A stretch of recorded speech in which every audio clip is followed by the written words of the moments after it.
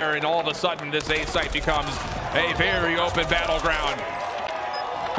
okay. And wouldn't you know it, one of the nicest guys on Vegas, the first one to break the body shots. Okay. Well, it was happening on map one too. I mean,